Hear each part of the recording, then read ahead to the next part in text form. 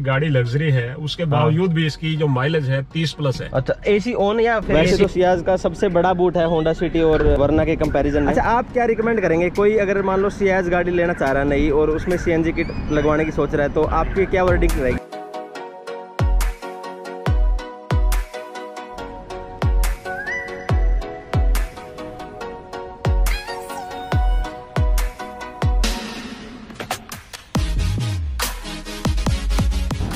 Hi guys good morning and welcome back to the channel guys तो आज मैं आपको दिखाने वाला हूँ सीएनजी वाली सियाज मैंने फ़र्स्ट टाइम देखी है सियाज के अंदर सीएनजी किट लगी हुई।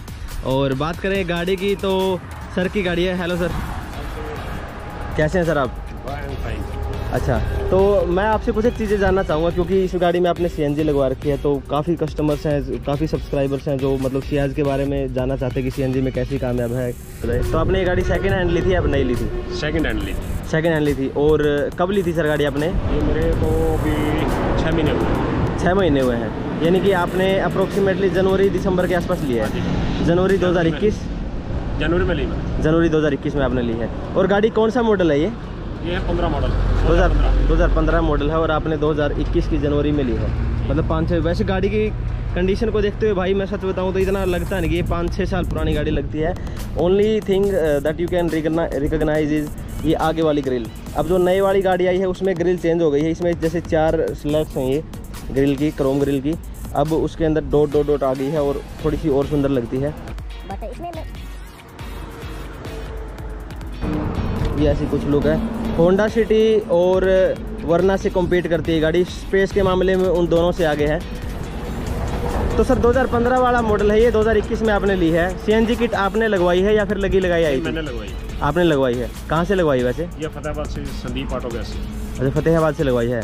और कौन सी कंपनी की आपने किट लगवाई है? मिजो की। मीजो की मीजो अच्छा ब्रांड बताया गया है वैसे। कितने रुपए की लगी आपकी? ये तैतीस हज़ार रुपये लगे। तैंतीस हज़ार रुपये की लगी। इसमें मतलब आपने डॉक्यूमेंट्स में सारा एंडोर्स करा दिया इसका? अच्छा मतलब अब आरसी के अंदर सीएनजी एंडोर्स आ बिल्कुल, गया। हर जगह कोई दिक्कत नहीं है। अच्छा अब जो मेन चीज़ है सर मैं वो जानना चाहूँगा कि इसकी परफॉर्मेंस और इसकी माइलेज वैसे तो काफ़ी लंबी गाड़ी है ये सेडान्स में सबसे लंबी गाड़ी आती है ये मतलब मिड साइड सेडान की अगर मैं बात करूँ तो पर- माइलेज जो है आप गाड़ी के अंदर बैठ के बात करते हैं ताकि थोड़ी सी आवाज़ अच्छे से आपकी मैं कैप्चर कर पाऊँ।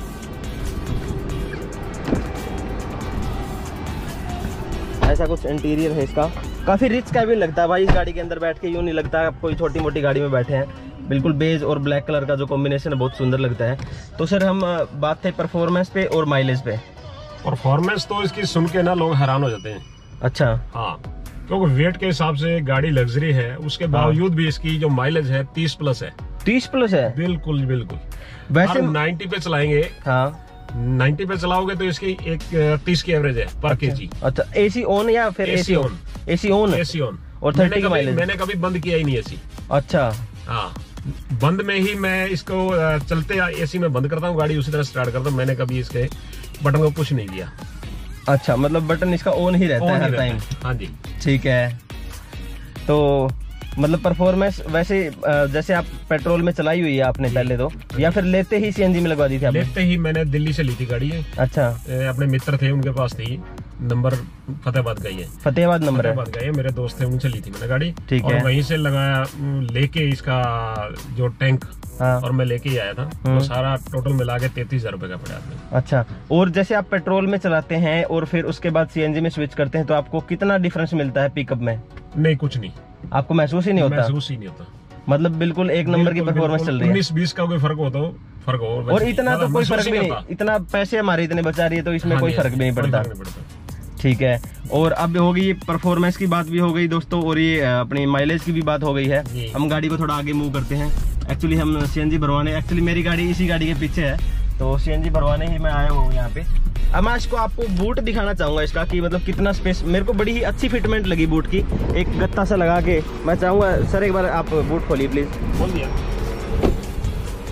इसका बूट अगर मैं आपको दिखाऊँ वैसे तो सियाज का सबसे बड़ा बूट है होंडा सिटी और वरना के कंपैरिजन में इतना बड़ा बूट है फ्रेंड्स ये यहाँ पे सिलेंडर लगाया गया है। कितने किलो का सिलेंडर लगाया है? ये चौदह चौदह के जी का। इसमें गैस कितनी आ जाती है? गया दस साढ़े दस किलो। मान लो आप 10 किलो गैस इसके अंदर आ जाती है नॉर्मली तो भी 30 के आसपास जो माइलेज आपने बताई 300 किलोमीटर चल जाती है। भाई इस जैसी गाड़ी मतलब इतनी लग्जरी गाड़ी एक बार फुल करवाने के बाद एक सिलेंडर के अंदर आपकी 300 किलोमीटर चल जाती है एसी के साथ। तो इससे बढ़िया बात क्या हो सकती है? इससे बढ़िया बात इससे बढ़िया बात क्या आप उम्मीद भी नहीं कर सकते इससे बढ़िया और? हाँ हाँ और क्या? अब जो वैगन आर आ रही है कंपनी फिटेड सीएनजी के साथ उसकी माइलेज मतलब 30 बत्तीस तैंतीस के आसपास बताते हैं। और एसी ऑन करने के बाद तो उसकी भी इतनी माइलेज नहीं है। हाँ ये इंजन के ऊपर डिपेंड करता है। अच्छा। जो इसका इंजन है हाँ। परफॉर्मेंस बहुत बढ़िया है। हाँ। इसलिए इसकी माइलेज है। पिकअप भी है माइलेज भी है सब कुछ है। हाँ। तो मारुति के अंदर जितनी भी इस रेंज की गाड़ी है सबसे लग्जरी गाड़ी। लग्जरी गाड़ी है। मारुति की लग्जरी गाड़ी ही है। तो ये है। और आपने कितने की ली थी ये गाड़ी?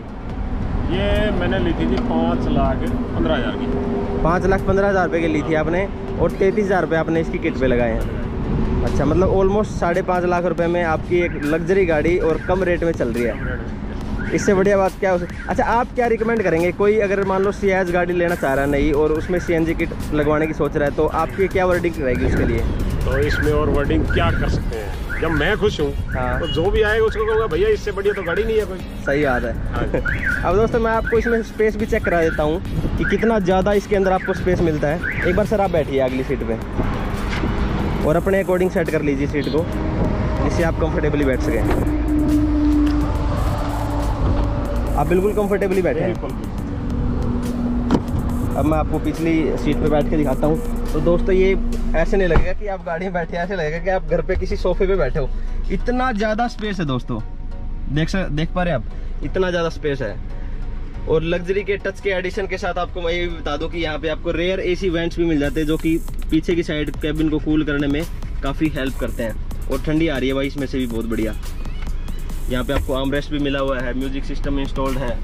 और 1.5 लीटर का इंजन आता है फ़िलहाल जो नई गाड़ी आती है इसके अंदर मुझे नहीं पता 1.3 वाला इंजन है या फिर 1.5 वाला है 1500 सीसी वाला है या 1300 सीसी वाला है। तो ये थी दोस्तों आज की वीडियो, अगर आपको पसंद आई तो प्लीज़ लाइक कीजिएगा एंड अगर नहीं आई तो डिसलाइक भी कर सकते हैं, लेकिन कुछ ना कुछ ज़रूर करना है। ये थी आज की वीडियो। वैसे मैंने एक वीडियो और बना रखी है कि छह लाख के बजट में अगर आपको नई गाड़ी लेनी है सीएनजी फिटेड जो कंपनी के साथ आती है वो अगर आपको वीडियो देखनी है तो ऊपर आई बटन में आ रहा होगा या फिर इस वीडियो के एंड में भी आपको दिख जाएगी। अगर आप देखना चाहें तो देख सकते हैं। आज के लिए इतना ही। अपना और अपनों का ख्याल रखिए and bye bye guys bye bye sir bye bye